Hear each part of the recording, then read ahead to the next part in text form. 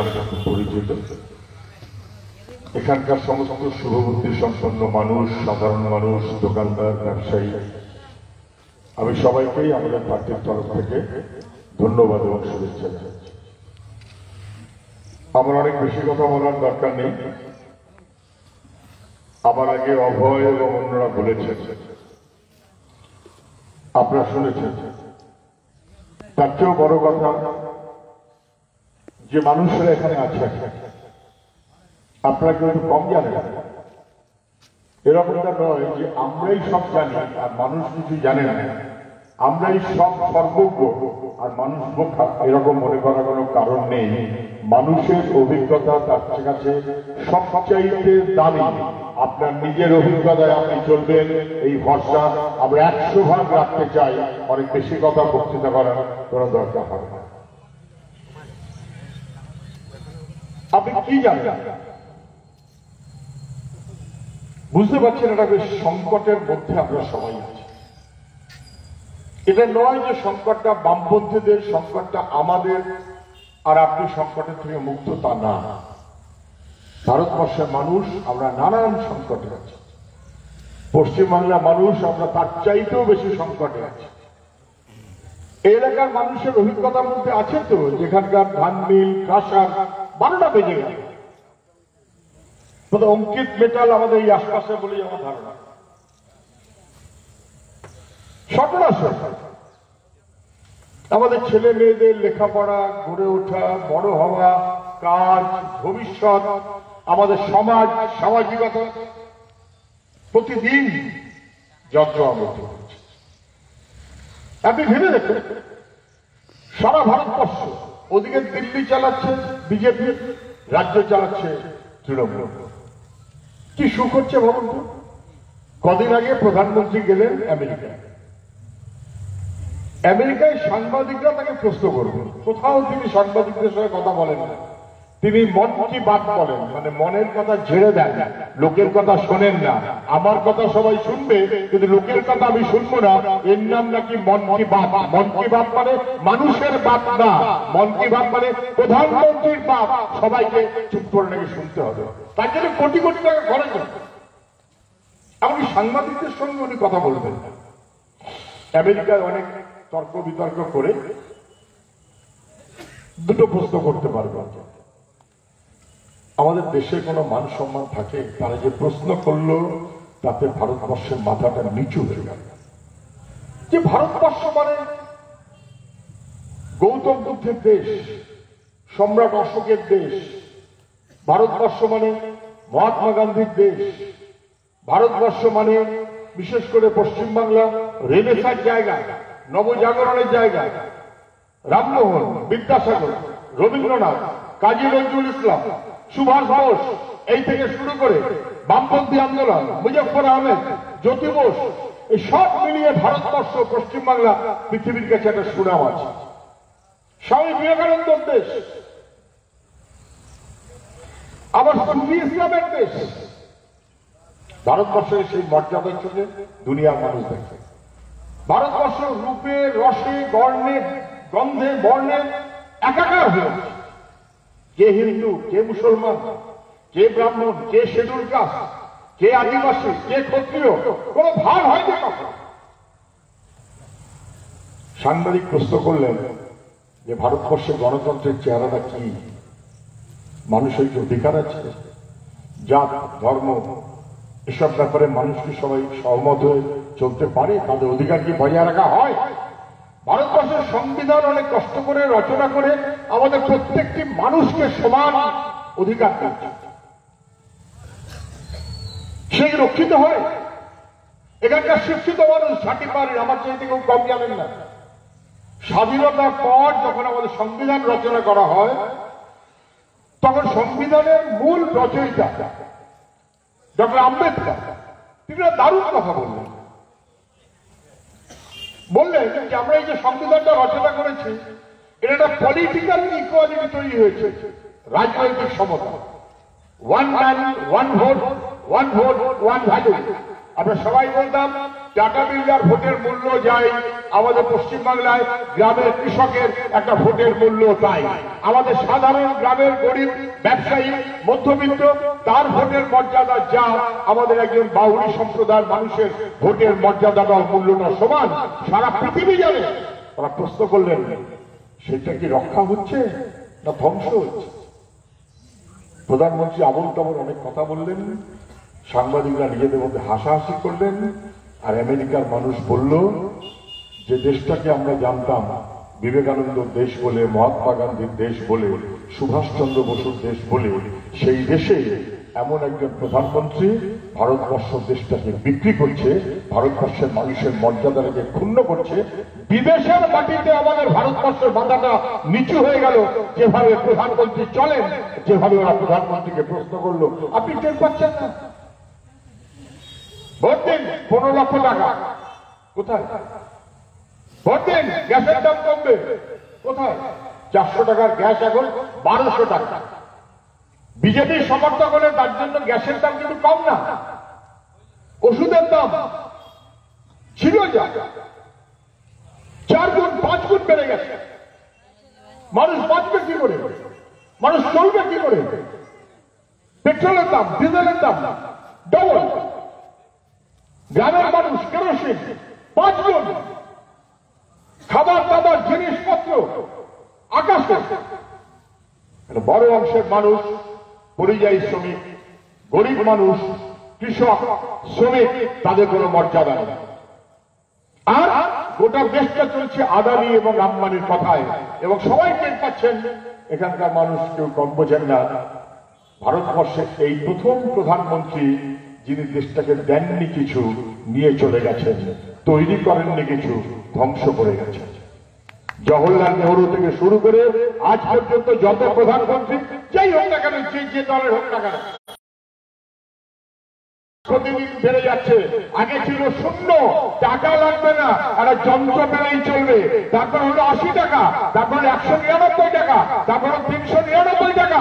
এখন দিন ক্রমশ বাড়ছে, জিওর খরচ ক্রমশ বাড়ছে। তারপর ফোন করতে গেলে এই ফোনটা কেটে যাচ্ছে। আদানি আম্বানির স্বার্থ রক্ষা করার জন্য ভারতবর্ষের প্রধানমন্ত্রী দেশটাকে বেঁচে দিচ্ছেন বেঁচে নেওয়া প্রধানমন্ত্রী গোটা ভারতবর্ষের মানুষের বিপদ তাতে পাচ্ছে কৃষকের শ্রমিকের, মধ্যবিত্ত যুবকের লেখাপড়া জানা, কম লেখাপড়া জানা সবার। আমরা সব আপনি তেমনি করে পশ্চিমবাংলার দিকে তাকান? কি সর্বনাশ হয়ে গেল ভাবতে পারছেন? কি সর্বনাশ হয়ে গেল? পঞ্চায়েতের লুটপাট আমি আপনাদের কাছে, মায়ের কাছে মাসির গল্প বলতে পারি না আপনি আমার চেয়ে বেশি জানেন। একশো দিনের টাকায় লুট আবাস যোজনার টাকায় লুট। জিনিসের দাম ভয়াবহ। ভয়ঙ্কর একটা অবস্থা। একটা এমন অবস্থা হয়েছে, ভাবতে পারছেন? আপনি স্কুলে ছেলেকে পাঠাবেন, মাস্টারমশাই লেখাপড়া শেখাবে, কোনোদিন কেউ কল্পনা করতে পেরেছেন? এমনকি তৃণমূল সমর্থক কেউ যদি আশপাশে থাকেন, আমি তাকেও বলছি, কোনোদিন কল্পনা করতে পেরেছিলেন? পরীক্ষা দিয়ে পড়াশুনো করে যারা পাশ করেছে তারা রাস্তার পাশে বসে বিক্ষোভ করছে, পুলিশ তাদের পেটাচ্ছে, তারা বলছে, আমরা লেখাপড়া করেছি, আমরা পরীক্ষা দিয়েছি, আমরা পাশ করেছি, আমাদের ন্যায্য চাকরি টাকার বিনিময়ে বিক্রি করে দিচ্ছ কেন? তারা রাস্তার পাশে দাঁড়িয়ে বিক্ষোভ করছে। আর আপনার ছেলেকে পড়াচ্ছে, ওরা মাস্টার দিয়েছে, যে টাকার বিনিময়ে চাকরি পেয়েছে ফেল করা ছেলের কাছে আমাদের ভবিষ্যৎ প্রজন্ম তাকে বিপন্ন করা হচ্ছে। আপনি, আমি সবাই মুক্ত হব। কালকে কাগজ দেখবেন। যারা বড় ডাক্তার, তারা বলেছেন, আমিও যারা বড় ডাক্তার, তারা বলেছেন যে কি সর্বনাশ কাণ্ডটা হচ্ছে? ডাক্তারি পরীক্ষা, সেখানে পড়াশুনো নেই। পড়াশুনোর যোগ্যতায় পাশ না। এমন একটা ব্যবস্থা মমতা ব্যানার্জির বাহিনী এখন করেছে। টুকে পাস। ফেল করে ডাক্তার। পয়সা দিয়ে ডাক্তার। আবার আপনার ভবিষ্যৎ জীবন, চিকিৎসা। কাদের দেখেছেন কদিন এই কাগজে? শুধু পঞ্চায়েতের ভোট লুট না, পঞ্চায়েতের ভোট লুট, বিধানসভার ভোটে লুট, কোঅপারেটিভের ভোটে লুট। ডাক্তার ডাক্তার, তাদের মধ্যে কমিটি হবে? ডাক্তারদের মধ্যে কমিটি হবে? এক কমিটিতে মমতা ব্যানার্জির মন্ত্রী নির্মল বাজি আর উল্টো দিকে মমতা ব্যানার্জির এমপি শান্তনু সেন। এই দুজনের মধ্যে লড়াই হবে। সেই লড়াইয়ে এমনকি ডাক্তারদের ভোটে পর্যন্ত কারচুপি ব্যালেন্সাই পর্যন্ত হয়ে গেছে। আর কি সর্বনাশতে আমাদের বাকি থাকছে? গোটা বাংলার এই সর্বনাশের দায় আপনি আমি কেউ মেনে নিতে পারি না। কোনদিন ভেবেছিলেন? কোনদিন ভেবেছিলেন?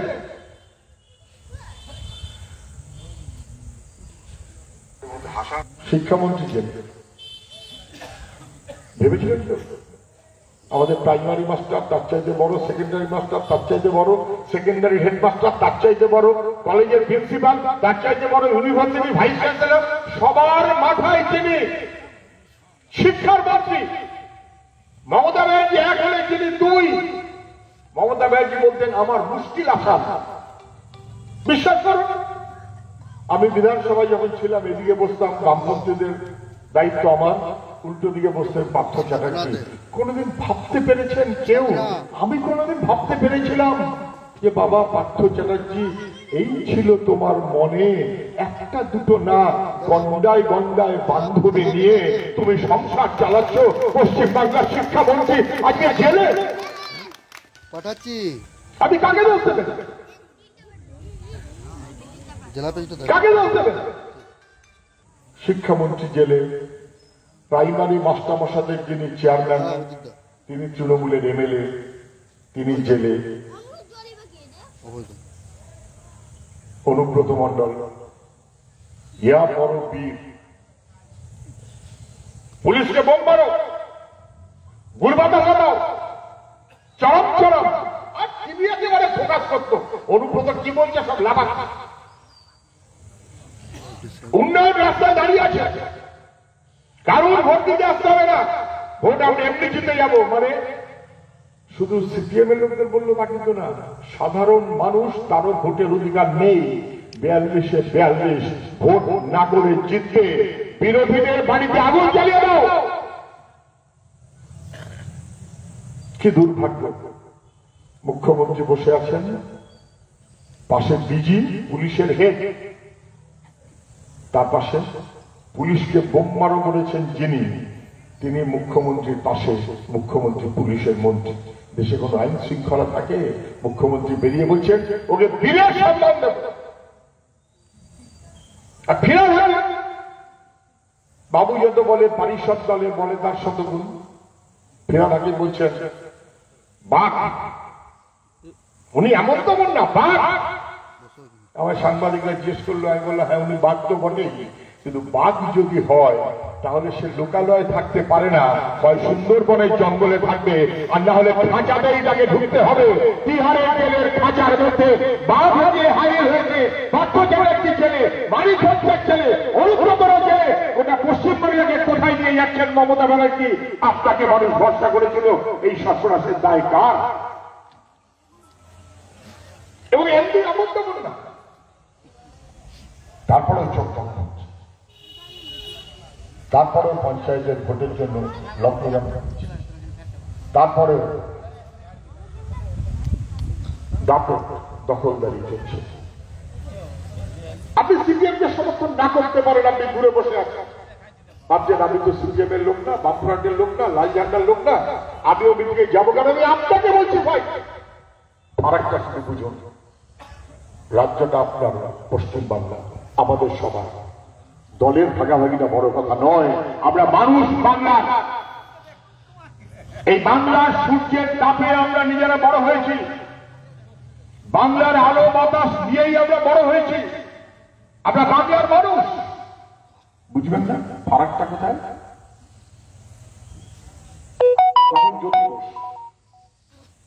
আমাদের কম বয়সের ছেলেদের হয়তো বুঝতেও অসুবিধা হবে। সাতাত্তর সালে মুখ্যমন্ত্রী হলেন। কমিউনিস্ট। বিদেশে গিয়ে ব্যারিস্টারি পাশ করে এসছেন লক্ষ লক্ষ থেকে ইনকাম করাটা কোনো কঠিন কাজ ছিল না। এসে শ্রমিকদের মধ্যে কাজ করতে শুরু করলেন কমিউনিস্ট। রাজনীতি মানে ব্যক্তির ক্ষমতা না। রাজনীতি মানে শ্রমজীবী মানুষ, গরিব মানুষ তার পাশে জ্যোতি বোস মুখ্যমন্ত্রী হলেন। প্রথম মন্ত্রিসভার বৈঠক করলেন। বাইরে বেরিয়ে এসে বিশাল সমাবেশ ঘোষণা করলেন। আমার সরকার রাইটার্স বিল্ডিং এর ঘর থেকে চলবে না। আমার সরকার গ্রামে গ্রামে গরিব, সাধারণ মানুষের মধ্য দিয়ে গ্রামের সরকার পরিচালিত হবে, কেন্দ্রীভূত হবে না বিকেন্দ্রীকৃত মানুষের নিজের অধিকার তাকে আমি নিশ্চিত করব, এটা আমার দায়। কি করলেন প্রথমে বললেন ক্ষমতায় ক্ষমতায়ন মানে কি? যার ক্ষমতা আছে তার ক্ষমতা বাড়ানো নয়। এখন যেটা হচ্ছে, যার ক্ষমতা আছে, যার পয়সা আছে, তার মাথায় একটু তেল মেরে দাও। উনি কি বললেন? প্রথমবারের পঞ্চায়েতের ভোট। মহিলারা নির্বাচিত হয়নি, তখনও পর্যন্ত মহিলারা সরগর হয়নি। বামফ্রন্ট বলল, আমার সমাজটাকে যদি এগিয়ে নিয়ে যেতে হয়, তাহলে সমাজের শুধু উচ্চবিত্ত লোকের দিকে তাকালে হবে না। শুধু বামুন কায়দের দিকে তাকালে হবে না। যারা যারা সমাজে পিছিয়ে আছে, সাধারণ মানুষ, গরিব মানুষ, মহিলা, তফসিলি জাতি, আমাদের পিছিয়ে থাকা নানান রকমের অংশের মানুষ সংখ্যালঘু, তাদের প্রত্যেকের মধ্যে ক্ষমতা আছে। কৃষক চাষ করে, ওর ক্ষমতা আছে। ও লেখাপড়া বেশি না থাকতে পারে, কিন্তু ওর যোগ্যতা আছে। ও কি করে এই মাটিকে কর্ষণ করে সেখানে শুকনো মাটিতে ফলন ফলানো যায়, সেটা কৃষক জানে।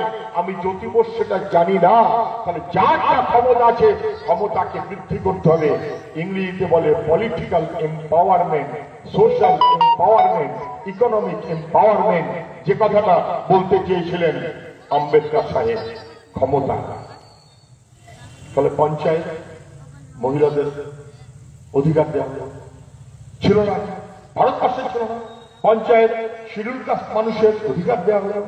তাহলে সবাই, উঁচু, মাঝারি, নিচু সবাই আমাদের গ্রাম আমাদের রক্ষা করতে হবে। মানুষের পঞ্চায়েত হবে। এমনটা হলো, জানেন বোধহয় সবাই, রাজীব গান্ধী তখন প্রধানমন্ত্রী ভারতবর্ষ। উনি কংগ্রেস আমাদের সঙ্গে ঝগড়াঝাটি ছিল অনেক। উনি সব খবরাখবর নিয়ে কলকাতায় দুদিন ধরে পঞ্চায়েতের প্রধানদের নিয়ে মিটিং করে বললেন এটাই ভারতবর্ষের ভবিষ্যৎ।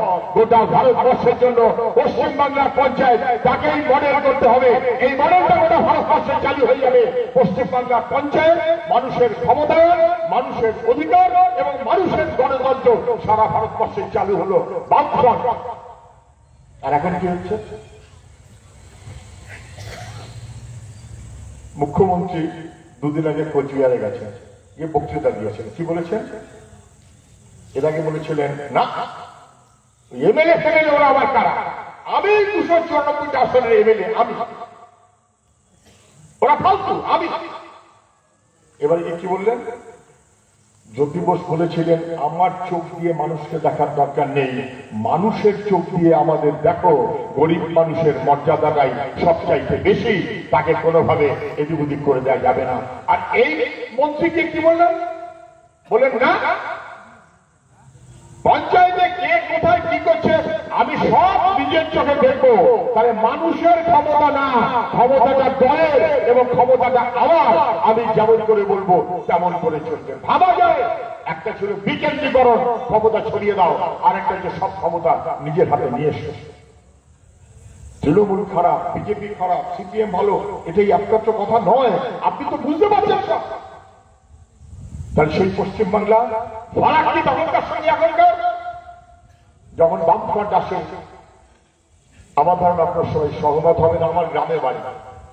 আমি কলকাতা শহরে থাকি তা না কলকাতা শহর থেকে দূরে, সুন্দরবনের কাছাকাছি, একটা গ্রামে থাকি। ক্যানিং, সোনারপুর বাড়িপুর নাম শুনেছেন একটা একটা গ্রামে আমি গ্রামেই জন্মেছি, গ্রামেই বড় হয়েছি। আমিও আপনার মতন পঞ্চায়েতের ভোটার। কিন্তু পশ্চিমবাংলায় যখন বামফ্রন্ট ছিল না আমি সুজান চক্রবর্তী দুবেলা পেটে আমার ভাত জোটে নি গ্রামের মানুষের দুবেলা পেটে ভাত ছিল না ছাপনার মানুষ তাদের অভিজ্ঞতা আলাদা হতে পারে না। আমি সুজান চক্রবর্তী এখন স্কুলে পড়ি। বিশ্বাস করুন আর না জীবনে কোনোদিন স্কুলে পড়ার সময় পায়ে একটা হাওয়াই চপ্পল ওঠেনি তখন বামফ্রন্ট ছিল না, বামফ্রন্টের আগের আমল। কেন? এক, গ্রামের লোকের চটি কেনার পয়সা নেই। দুই, চটি কিনলে সেটা মাথায় করে নিয়ে ঘুরতে হবে। রাস্তা মানে কাদা আর গদ রাস্তায় চটি পরে যাবার সুযোগ ছিল না। আমাদের কম বয়সী ছেলেমেয়েরা হয়তো বিশ্বাস করবে না। বয়স্ক মানুষ বুঝতে পারছে।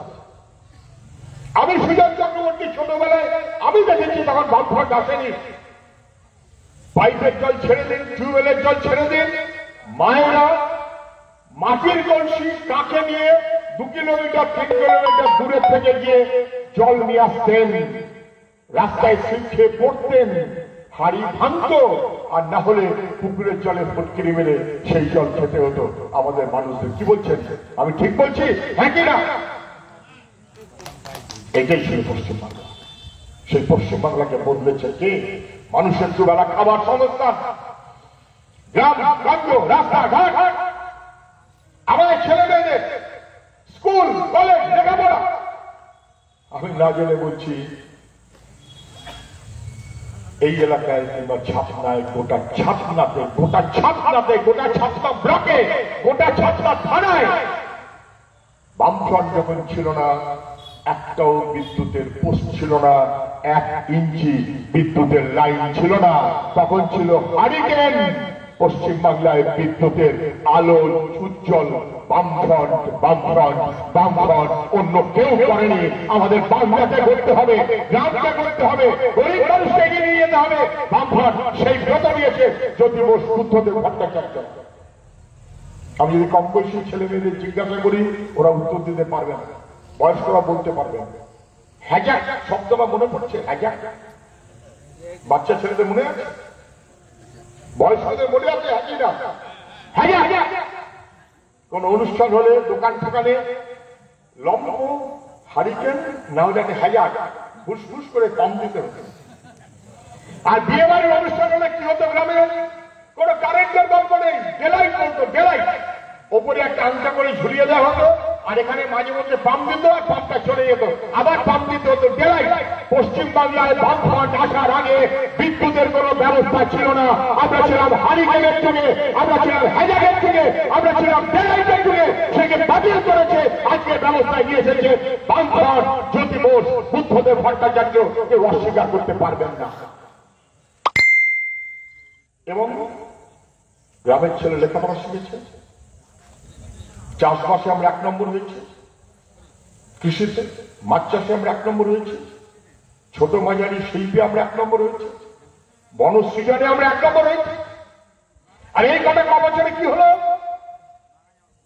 খাদ্য উৎপাদনে আমরা পিছিয়ে গেলাম। সবজি উৎপাদনে আমরা পিছিয়ে গেলাম। মাছ চাষ আমরা অন্ধের উপর নির্ভরশীল হয়ে গেলাম।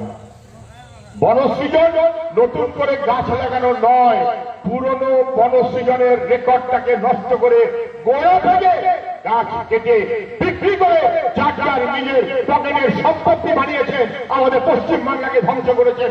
গত দশটা বারোটা বছর ধরে এই ধ্বংসের রাজত্বে আমরা পশ্চিম বাংলা আছি। লোডশেডিং শব্দটা বন্ধ হয়ে গেছিল।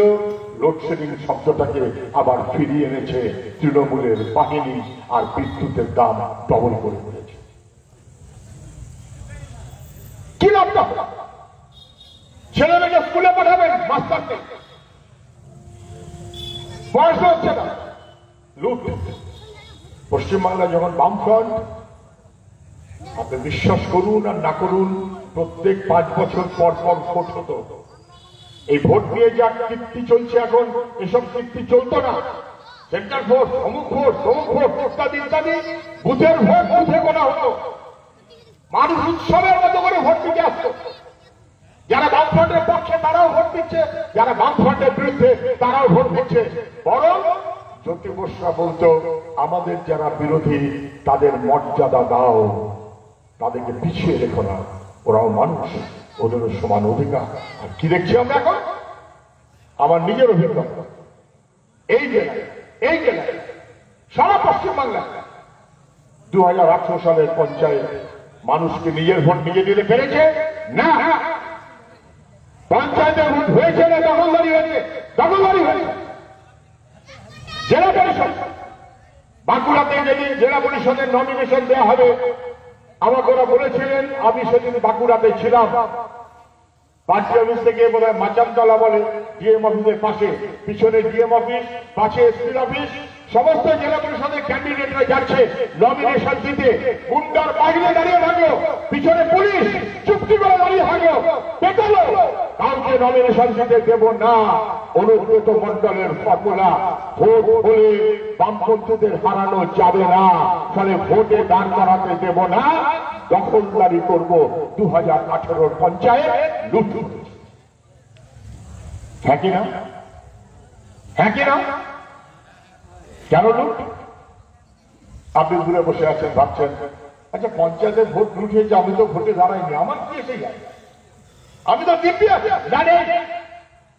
পঞ্চায়েতের ভোট লুট করা মানে লাইসেন্স পেয়ে গেল একশো দিনের টাকা লুটে। পঞ্চায়েতের ভোট লুট মানে লাইসেন্স পেয়ে গেল। অনেক টাকা লুটে পঞ্চায়েতের ভোট লুট করার মধ্য দিয়ে আমার আপনার অধিকার ইজ্জত তাকে লুট করে নিল নিয়ে। কি বলল? কথা পাঁচশো টাকা দিয়েছি, আবার কথা বলছে? বাপের টাকা নাকি কারুর? পাঁচশো টাকাটা কারুর? বাপের টাকা? কার বাপের টাকা ওটা? আমার ট্যাক্সের টাকা, আপনার ট্যাক্সের টাকা। পাঁচশো টাকা করে যে দেয় আমরা ফিরে আসলে ওটা পারবে। কর্ণাটকে দু হাজার টাকা হয়েছে দু হাজার পশ্চিমবাংলাতে ওটা পারবে। পাঁচশো টাকার ভিক্ষে না, মানুষের অধিকার। গ্রামের মানুষের কাছে টাকা পৌঁছে দিতে হবে। বামফ্রন্ট সেটাই করেছে। যখন পঞ্চায়েত আসে, তার আগে গ্রামের মানুষের কোনো বন্দোবস্ত ছিল না। যখন পঞ্চায়েত আসে ফুড ফরওয়ার্ড দিয়ে শুরু হয়েছিল। করতে করতে একশো দিনের কাজের আইন চালু করেছে। করতে করতে মিড ডে মিল চালু করেছে মানুষ। ফারাক না বুঝবার কোনো কারণ নেই। আমি কথা বাড়াবো না। এখানকার মানুষ আপনারা কেউ কম জানেন না। নিজেদের যোগ্যতায়, নিজেদের অভিজ্ঞতায় আমাদের চলতে হবে। ভেবে দেখছেন? আপনি দূরে বসে আছেন। ভালোই লাগছে আপনার অনেক কিছুর উপর নির্ভর করতে হয় না। খেয়াল করতে পারছেন? পশ্চিমবাংলার গ্রামগুলো যুবক শূন্য হয়ে যাচ্ছে। বামফ্রন্টের আমলে গ্রাম গড়ে উঠতে উঠতে কোথায় কংকাস্ট কোথায় অঙ্কিত, কোথায় খড়গপুর, একটা একটা শিল্প কেন্দ্র, গোটা পশ্চিমবাংলা রাস্তাঘাট, শিল্প কলকারখানা, আপনি যা দেখছেন, বামফ্রন্ট যা দেখছেন। গত পাঁচ বছরে, দশ বছর, বারো বছরে ধ্বংস হয়েছে। লেখাপড়া যারা ছেলে মেয়ে পশ্চিমবাংলার কাজ নেই ভিন রাজ্যে চলে যেতে হচ্ছে। মজুরের কাজ করে, তারও পশ্চিমবাংলায় কাজ নেই। কোথায় যাচ্ছেন কেরালায়, তামিলনাড়ুতে। পরিযায়ী শ্রমিক পড়ে গেল। মানুষের কাজ নেই, চাষ নেই, কাজ নেই, জিনিসের দাম বাড়ছে, ভয়াবহ। আর উনি বলছেন চপ। পাঁচশো টাকা দিয়েছি? মানুষ কেউ কেনা গোলাম না মানুষ কেউ প্রজা না। তোমারও যেমন ক্ষমতা, আমারও যেমন ক্ষমতা, তোমারও যেমন অধিকার, আমারও যেমন অধিকার, নিজের মানুষ নিজে দেবে। যাকে পছন্দ তাকে দেবেন। ইচ্ছে হলে আমাদের দেবেন, ইচ্ছে না হলে আমাদের দেবেন না। কিন্তু নিজের অধিকারটা ছেড়ে দিয়ে কেউ চলবেন না। কি টের পাচ্ছেন এখন? আপনি শব্দগুলো উচ্চারণ করতে পারবেন না। বলতে পারবেন, চোর। গোপাল চোর। জানতাম আমরা গোপাল চোর। মাসি বারণ করে না। পরে বড় হয়ে গোপাল মাসি প্রশ্রয় দিয়েছিল, মাসির কানটা কামড়ে দিয়েছিল। আপনি এখন চোর শব্দটা বলতে পারবেন? ছেলেরা স্লোগান দিচ্ছে, বলছে, চোর ধরো, জেল ভরো। ওই কোনে তৃণমূলের লোকরা বসেছিল। যেই দেখছে স্লোগান হয়েছে চোর ধরো, জেল ভরো বলছে তোরা আমাদের বিরুদ্ধে বলছিস কেন? আমাদের ছেলেরা মিহি গলা বলল, কাকা, তোমাদের তো বলিনি আমরা। আমরা বলেছি, চোর ধরো, জেল ভরো যারা চোর, তাদের ধরতে বলেছে। অমনি লাভে উঠল, আমরা কি জানি না যে আমরা চোর? তোরা আমাদের চোর বলছিস? তৃণমূলের নেতারা জানে, ওরা ছাড়া চোর বলে আর কেউ চিহ্নিত নয়। তৃণমূলের নেতারা জেনে গেছে, বুঝে গেছে। আপনি চোর শব্দটা ব্যবহার করতে পারবেন এই মাঝে আমার ছোটবেলা থেকে একটা অভ্যেস আছে। আমি ছেলেদের বন্ধুত্বের সম্পর্ক তো। ভাই এদিকে আয়। ভাইপো খুশি মনে আসতো। আর ভাই ভাইপো শব্দটা বলতে পারছেন এই বছর খানেক আগে তো মিটিয়ে পরে গল্প করছি, দেখছি ওইখানে শুভেন্দু দাঁড়িয়ে আছে। মানে এই অধিকারী অন্য। আরে ভাইপো এদিকে আয়। আসেন। আরে ভাই এদিকে আয়। আসছেন একটা ছেলে কানে কানে এসে বলল, "ও দাদা, আপনি কি করছেন? কেন? আমি তো ভাইপো বলে ডাকলাম ওকে। বলে। ও বলছে, আমি তোলাবাজ? মানে ভাইপো মানেই তোলাবাজ। অভিষেক ব্যানার্জির কৃতিত্বে, এখন ভাইপো মানেই তোলাবাজ। আপনি ভাইপো শব্দটা ব্যবহার করতে পারবেন না। এক কাকু জুটেছে। মুখ্যমন্ত্রী বললেন, কাকু বলে শুরু করলেন। দেখা গেল কাকু বিখ্যাত কাকু কি বলছে? বলছে, আমি তো কর্মচারী, আমার মনিব তো ওই। মনিবকে কে গায়ে হাত দেবে? আমি তো কর্মচারী, ছাতা ধরে আছি। উড়ে বাবা, কর্মচারীর পৃষ্ঠা প্রপার্টি তিনটে কোম্পানি আচ্ছা কর্মচারীর যদি বিশটা প্রপার্টি হয়, তিনটে কোম্পানি হয়, মনিবের কত? আপাতত কাকু জেলে। পশ্চিমবাংলার মানুষ অপেক্ষায় আছে। কাকুর পিছন পিছন পিসি ভাইপো, তারা কবে জেলে যাবে? বাংলার মানুষ তার অপেক্ষায় আছে। এদিন আসবে, এদিন কেউ ঠেকাতে পারবে না।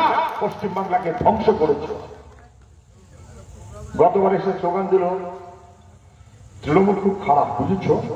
তৃণমূলকে হারাতে হবে। তাহলে কি করতে হবে? শোনো সিপিএম কে ভোট দিয়ে ভোট নষ্ট করো না। তৃণমূলকে যদি হারাতে হয়, বিজেপিকে ভোট দাও।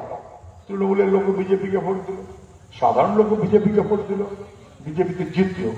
কি দাঁড়াল কি দাঁড়াল এখন দেখছি, তৃণমূলের যে যত বড় নেতা, সেই তো বিজেপির তত বড় নেতা। গোটা জঙ্গল মহলে তৃণমূলের এক নম্বরের নেতা ছিল শুভেন্দু অধিকারী, সে এখন বিজেপির এক নম্বর নেতা। গোটা মেদিনীপুরের চাকরি বিক্রির টাকা শুভেন্দু অধিকারী, তৃণমূলের নেতা, সে এখন বিজেপির নেতা। তৃণমূলের নেতা মুকুল রায় বিজেপির এমএলএ তারপর আবার সে হাজির হয়ে গেল তৃণমূলে। না বোঝার কোনো কারণ নেই। আপনি টের পাচ্ছেন? আপনি টের পাচ্ছেন? তৃণমূল আর বিজেপিতে ফারাক কিছু হচ্ছে না। ওরা ঠিক করেছে বড় বাহিনী। আদানি আম্বানির বাহিনী ঠিক করেছে, ওরা লুট করবে দেশকে। এবং ওরা যদি দেশকে লুট করতে চায়, তাহলে দেশের লুটের হয় তৃণমূল নয়, বিজেপিকে রেখে ওদের করতে হবে। লাল ঝান্ডাতে ওদের ভয়। লাল ঝান্ডা আসলে ওই আদানি আম্বানির রাজত্ব চলবে না।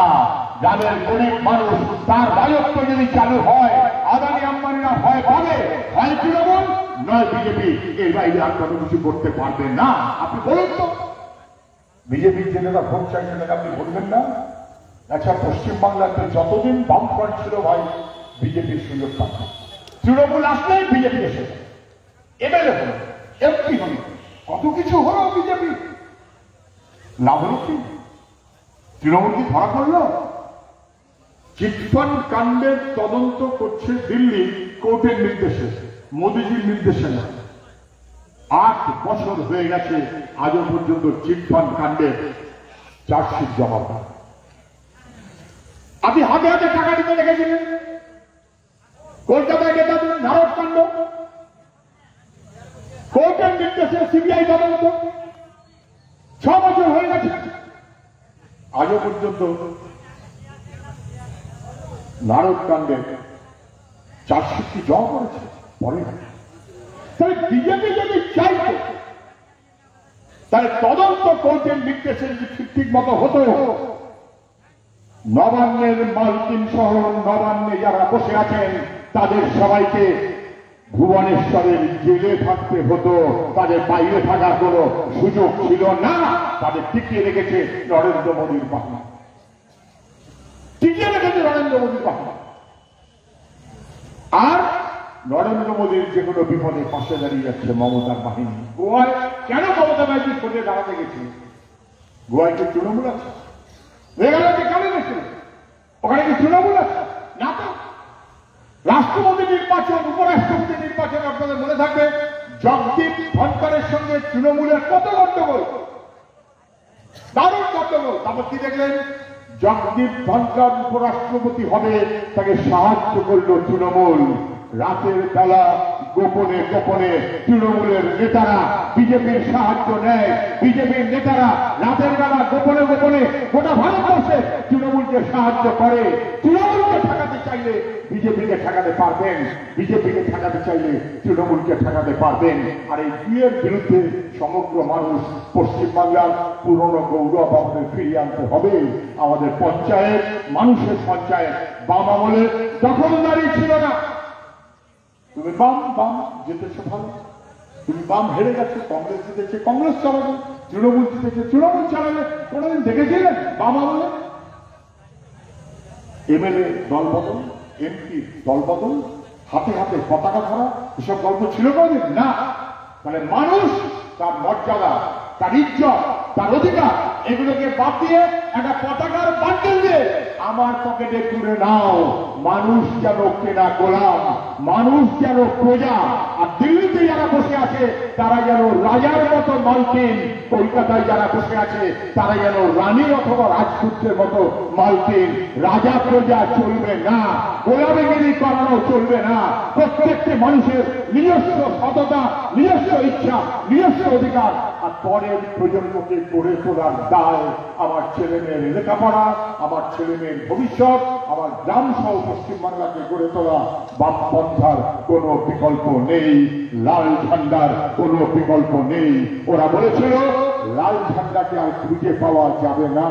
এখন দেখছে, লাল ঝান্ডা ফিনিক্স পাখির যা মাটির তলায় পুঁতে দিলেও সে ফুরে উঠবে। তাকে কেউ ঠেকাতে পারবে না। লাল ঝান্ডা এই জায়গাটাই গোটা ভারতবর্ষের মানুষ, তার কাছে ভবিষ্যৎ, তার কাছে ভূমিকম্প, সেই সব করে আপনাদের চলতে হবে, চলা জরুরি এবং বিজেপি, তৃণমূল দুই শক্তির বিরুদ্ধে সবাইকে ঐক্যবদ্ধ করাটাই আমাদের দায়। এই মনোভাবে সবাই চলবেন, এই আশায় সবাইকে অভিনন্দন জানিয়ে আমার কথা শেষ করছি। ইনকলাব